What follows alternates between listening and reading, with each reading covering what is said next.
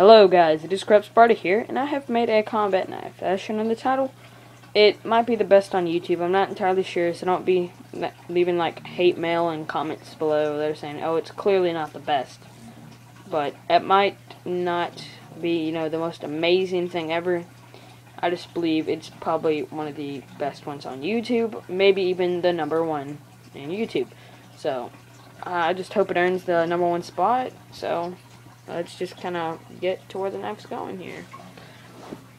Now, as you can tell right off the back, this uses glue. Um, I recommend using stick glue, spray adhesive made by Elmer, or straight up liquid glue. Those all work great. Now, they all end up resulting in making extremely hard blades. I mean, this is clearly a solid blade. There's nothing can go wrong with this. I mean, I can bend it, sure, but I have to put a lot of force into it. So, those are the views and whatnot. Now, um, if you guys are like, you probably want to look at this a little more, so I'm going to go over this a little slower. A lot slower, so you guys can actually get an idea. God, dang, I'm sorry I'm moving so much. Just kind of, I don't know why. I just don't know why I'm moving. I just kind of feel like it, I guess. My arm's a little ecstatically, ecstatically. That's not even a word. What am I saying? Let's get close up on that without that freaking iPod screwing up with its shadow. But anyway, you get that idea. Now what I did, how I got this right there. This, you know, end piece and stuff.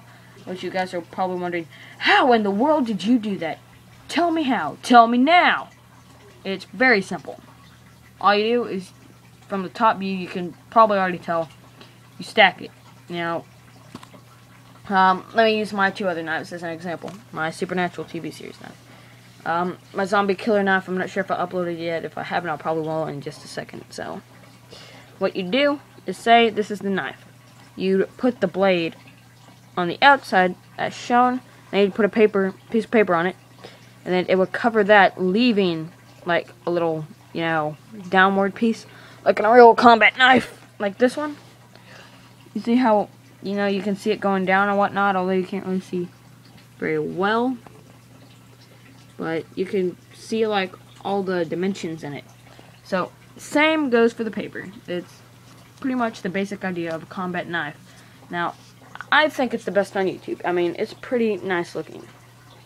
Um, it just feels awesome, so.